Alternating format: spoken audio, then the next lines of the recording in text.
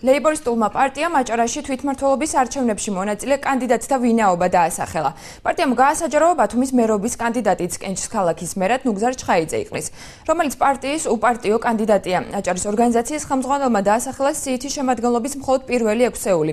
ქალაქის სხვადასხვა უბანში მაჟორიტარი დეპუტატობის კანდიდატები არიან. პირველი ნომერი დავით რობაქიძე თამარის დასახლებაში, ორი მეორე ნომერი ნაიმე ძნელაძე სამრეწველო უბანში, მესამე ნომერი რევაზ ბაინაზიშვილი ბონი გოროდოკის უბანში. უბანში, მეოთხე ნომერი დავით ჯაფარიძე ბაგრატიონის უბანი, მეხუთე პანტელეიმონ გოგუაძე უბნის გარეშე და ვლადიმერ გასპარიანი ძველი ბათუმის უბანი. დარჩენილი კანდიდატების დასახელებას პარტია ხვალ ოლქში რეგისტრაციის გავლის დროს გეგმავს.